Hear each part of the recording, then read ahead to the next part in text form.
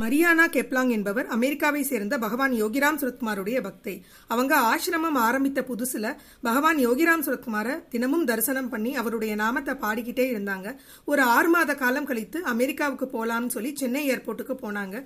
Visa check பண்ற இடத்துல நீங்க ஆறு மாதம் திருவண்ணாமலையில தங்கி இருந்தீங்க அதனால லோக்கல் போலீஸ் ஸ்டேஷன்ல ஸ்டாம்ப் பண்ணி கையெழுத்து வாங்கியிருக்கணும். அது இல்லாம எங்களால விமானம் ஏறுறதுக்கு அனுமதிக்க முடியாதுன்னு சொல்லிட்டாங்க.